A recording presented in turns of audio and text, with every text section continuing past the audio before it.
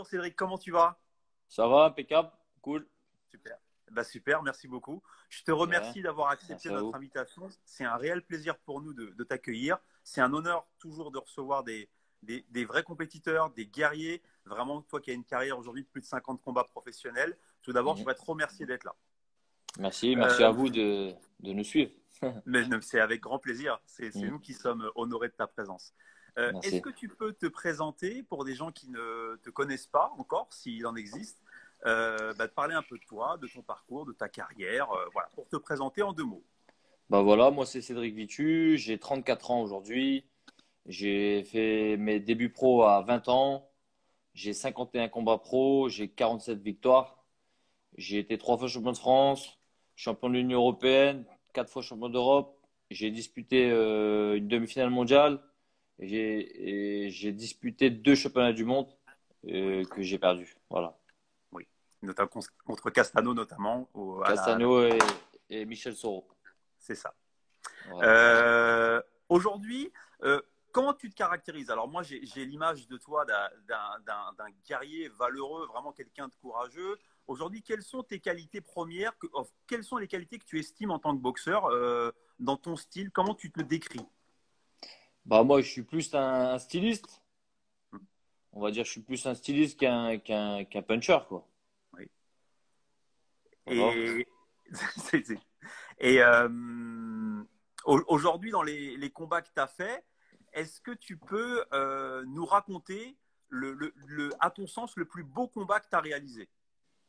Avec la meilleure prestation sportive. Hein. Le plus beau combat pense, là où j'ai été vraiment le plus concentré et, puis c'était une de mes plus belles victoires, c'est euh, ma première défense de titre de champion de France contre Christophe Conclos. Oui. Elle n'a pas été télévisée, ce combat, mais personne ne s'en souvient parce qu'elle n'a pas trop été médiatisée. Mais Christophe Conclos, c'était un exemple pour moi quand j'étais jeune. et, là, et là, je me suis retrouvé face à lui pour euh, la défense de mon titre de champion de France. Et là, j'étais vraiment concentré de les 10 rounds. Ça fait que j'ai fait un, pour moi, c'est l'un de mes plus beaux combats. Mais c'est tellement j'avais peur, en fait. D'accord. Très bien. Le, dans les, les, plus grands faits de ta carrière, tu as, quatre championnats d'Europe aujourd'hui. Peux-tu nous dire comment euh, tu as vécu ces, ce, déjà ce premier événement, ce grand événement que tu as boxé quatre fois contre des Espagnols, je crois? Peux-tu nous raconter l'état d'esprit dans lequel tu étais à ce moment-là, quand tu bah, les as boxés et que tu les as battus? J'ai fait cinq championnats d'Europe en tout, parce qu'il y a celui de Manchester contre Rapchenko, qui, que j'avais été boxé à Manchester, et puis euh, voilà, j'avais été un peu, un peu volé là-bas. Bon, après, j'avais pas fait la différence pour, pour prendre le titre, et le, celui de, WC Silver. Donc euh, voilà. Ensuite, bah, j'ai dû aller retourner en Italie pour euh, chercher le titre. Oui, à Breccia, c'est ça? À Breccia en Italie, face à un boxeur invaincu. Oui. Ouais, c'était compliqué. Et puis là, euh, euh, pareil, premier round, euh, je sais plus. Il y avait son public avec lui, c'était compliqué. je suis prêt, je suis prêt, à, je suis prêt à abandonner. Hein. Je suis prêt à abandonner au moins au quatrième, je crois. Je dis bon, ils vont, ils vont me voler. Je lui mets 1, 2, 3 et personne, j'entends pas de bruit. Il met 1, 2 dans les gants, j'entends, ouais, je dis ouais, ça y est, je vais ça va, Manchester, ça va recommencer. Ouais, voilà. Mais bon, après, j'ai dit, bon, c'est soit moi, soit lui. Je suis allé à la guerre. J'ai dit, c'est soit ça ou soit je suis dans la merde. et ben, puis j'ai réussi à le mettre KO au 11e. Super. Mm. Le... Aujourd'hui, est-ce qu'il y a des choses que dans ta carrière, alors il y a des trucs euh, sûrement que tu vas apprécier, des trucs que tu vas regretter. C'est quoi le plus grand regret si tu en as un aujourd'hui dans ta carrière? Franchement, j'ai aucun regret. J'ai aucun regret. Je savais pourquoi, comment j'allais. Même pour mon dernier combat, j'ai aucun regret. On a rempli Bercy. Je savais dans quelles conditions j'allais et pourquoi. Donc, euh, j'ai aucun regret. Après, si je peux avoir un regret, c'est de m'être jamais entouré de professionnels. Je suis arrivé, euh, euh, j'ai eu ma carrière en m'entraînant dans des, dans des, petits gymnases municipaux avec les moyens du bord et mon père. voilà. c'est comme si qu'aujourd'hui, je jouais à Creil pour jouer contre le Real de Madrid ou Barcelone. Voilà, donc euh, voilà, aujourd'hui, si je veux, si je continue ma carrière, c'est pour m'entourer de professionnels, sinon je sais même pas la peine que je revienne. D'accord. Pour parler justement de ton actualité, donc euh, moi je suis tes réseaux sociaux. Tu as mhm. posté récemment que tu souhaitais continuer à, boxer. Est-ce que tu peux nous en dire un petit peu plus là-dessus? Ouais, ouais. Ouais, je ne peux pas m'arrêter sur ça. J'ai réfléchi, j'ai réfléchi depuis, euh, bah, depuis ma défaite et j'ai dit non, c'est pas possible. Et puis je vois le soutien que les gens m'apportent. Euh, il y a tout ça. Je peux pas m'arrêter sur ça en fait. Et, je vais m'entourer de professionnels et, puis essayer de, de revenir voilà. Et quel est le niveau qui se passera Quel est le niveau d'objectif que tu te fixes dans, ton retour? Tu, tu, veux faire un combat ou deux pour finir sur une victoire ou tu veux aller rechercher un titre? C'est quoi oh non, moi, moi si je reviens, c'est pas pour rien, c'est pour aller chercher des titres. Ouais. Mais je vais prendre le temps de, revenir fort. Ok. De, de, me perfectionner, de travailler sur les aspects où j'étais nul, où, où j'ai un peu négligé. Mais bon, après, euh, je savais comment et voilà ce que je dis. Voilà.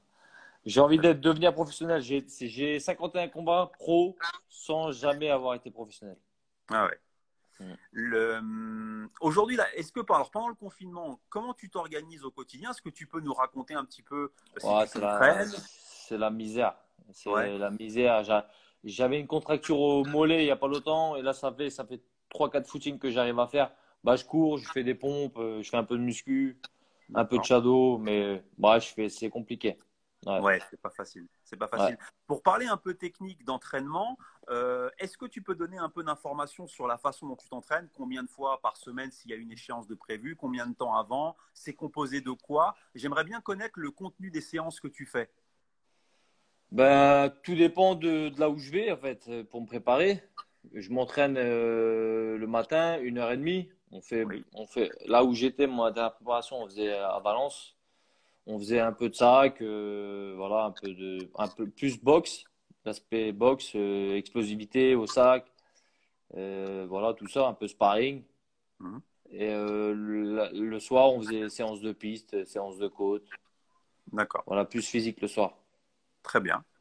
Mm tu nous as parlé de ton actu, tu vas remonter sur le ring avec sûrement des, belles propositions, j'imagine, pour toi.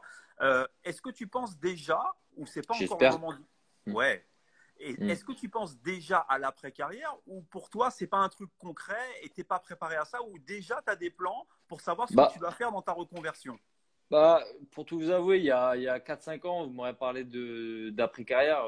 Dans ma tête, euh, j'y pensais pas du tout. Aujourd'hui, ça fait euh, deux ans que, bah, juste après ma défaite contre Castagno, avant, tu m'aurais dit, tu vas faire quoi après la boxe? Dans ma tête, j'aurais dit, mais je vais être champion du monde, euh, je vais compter mes sous. tu vois, aujourd'hui, je vois que que bah c'est pas le, cas et pas tout à fait ça. Non et puis même en fait même euh, même si j'aurais été champion du monde, je pense que il faut une, une occupation dans la vie et j'espère rester dans ce que j'aime faire. Et ce que j'aime faire c'est c'est la boxe. J'espère de rester dans la boxe. Je ne sais pas dans quoi, mais j'espère rester dans la boxe. Alors, c'est une bonne question. Euh, tu, Est-ce que tu as une idée? Est-ce que tu souhaites enseigner, par exemple? Promouvoir Organiser? Bah, Je ne sais pas du tout. D'accord. Je ne pourrais pas vous en dire plus. Mais enseigner, euh, j'ai mon père qui enseigne depuis euh, longtemps. Oui, j'ai vu comment c'était compliqué. C'est compliqué. Hum. ça ne me dit pas trop d'enseigner. D'accord. Hum. Mauvaise expérience. Ouais. Le tu as été classé euh, à l'IBF, je crois. Tu as été euh, challenger officiel de Jared Heard. Euh, moi, je voudrais savoir, est-ce que tu peux m'expliquer pourquoi le, ce combat, il s'est jamais fait? À un moment, tu étais challenger officiel. Il aurait dû avoir ce championnat du monde. Est-ce que tu peux nous donner de l'information dessus? Bah, En fait, ouais, je devais faire Jared Heard aux États-Unis. Et après, on a eu la proposition de faire Castagno en France. Bah, j'ai sauté sur le, j'ai sauté sur l'occasion. Je voulais, D'accord. Voilà, moi je voulais faire mon chemin du monde en France. D'accord, impeccable. Ouais, c'était, plus simple pour toi. Et le, et le rêve américain de te dire peut-être tu l'aurais boxé à Las Vegas, tout ça, c'est, c'était pas plus tentant que le, le, défi en France? Non, j'ai jamais rêvé américain, moi. D'accord, local. je rêve français. Très bien, super. Mm. Écoute, Cédric, je te remercie vraiment pour le temps que tu as pris avec nous pour venir parler avec nous. Normal, avec plaisir. J'ai une dernière question en tant qu'ancien compétiteur sur le dernier fight que tu as fait à Bercy moi, je me suis posé une question. À la fin, tu as dit un, truc, moi, qui m'a parlé en tant qu'athlète. Euh, tu as dit, maintenant, on va profiter de la vie. Tu vois, moi, je pensais que tu allais arrêter, euh, que tu allais passer à autre chose. Euh, qu'est-ce que tu as voulu dire dans cette phrase-là? Le sentiment que tu as reçu? Parce que moi, j'ai compris quelque chose, je vois que tu m'expliques. Bah en fait, ça faisait deux mois de préparation. J'étais seul euh, en camp de préparation, seul dans ma chambre d'hôtel, seul là, seul là. Je dis bah maintenant on va profiter de la vie. C'est que je voulais sortir, je voulais manger ce que je voulais, je voulais faire la fête, j'avais envie de vivre. Voilà, tout simplement. La prépa elle a été dure pour ce dernier fight? Elle a été dure? Ouais, elle a été dure mentalement, ouais. Beaucoup de solitude, beaucoup beaucoup de solitude. Et ouais, ça a été, c'est dur la boxe. Hein. C'est dur. Hein. C'est pas que sur le ring, c'est pas que 12 rounds. Hein. C'est deux mois de solitude, deux, trois mois, voire. Euh, et c'est ça qui est plus dur dans la, dans la vie de boxeur. Ouais. Une dernière question, justement, pour parler de Bercy. Euh, ce combat, il a, fait, il a fait beaucoup de bruit. Vous avez rempli avec cette affiche Bercy. Je voudrais avoir ton ressenti. Alors, je ne parle, parle, pas du fight, mais vraiment de, de, de l'ambiance. De, de as mis le paquet, quoi. J'ai kiffé, moi. Moi, j'ai kiffé. C'est pour, pour, ça qu'aujourd'hui, c'est pour ça qu'aujourd'hui, j'ai aucun regret. J'ai kiffé. On a rempli Bercy avec Michel Soro. Euh, voilà, j'ai vraiment kiffé. C'était, c'était, c'était un rêve qui se réalisait pour moi. Moi, j'étais petit, j'avais 10, 10, 12 ans. Maison qui me ramenait voir, voir la boxe à Bercy, tout ça. Et puis après, un jour, je dis, c'est moi, c'est moi qui ai aujourd'hui. C'est énorme. C'est, c'est magique, mais bon, ça aurait, été mieux de gagner. Non, bon, après, mais, après Michel était, était, était, dans les meilleures conditions. Ça faisait un an que je n'avais pas boxé. Euh, voilà, je cherche pas d'excuses. Il est en pleine bourre, très très fort. Et, comme je l'ai dit à la fin, je, je souhaite euh, de, de, faire de gros gros combats. Il mérite. il se donne les moyens pour, en tout cas. Bah, c'est super, écoute, d'entendre un mm. message comme ça. J'ai beaucoup d'ailleurs aimé euh, toute ta tenue à l'hommage à Apollo Creed, justement. Donc, on, club. On a beaucoup aimé ta tenue, toute la, la musique. Vraiment, c'était super cool. Merci beaucoup. J'ai kiffé. Merci à toi, Cédric. Merci pour ton temps. Je te souhaite vraiment bon courage et bon vent pour ta carrière. Vraiment, merci beaucoup. À, nous faire plaisir et à, et, et, à représenter sur le ring vraiment comme tu fais. C'est super. D'accord, merci. Je t'en prie. Ciao, Bonne ciao. soirée à merci. toi. Ciao, et rendez-vous demain pour le dixième numéro. N'hésitez pas. Vous pouvez retrouver toutes les interviews sur notre chaîne YouTube si vous voulez revoir toutes ces interviews. N'hésitez pas. Bonne soirée à tous et merci Cédric encore une fois. Bon confinement. Bon merci chance. à toi. Ciao, ciao. Salut.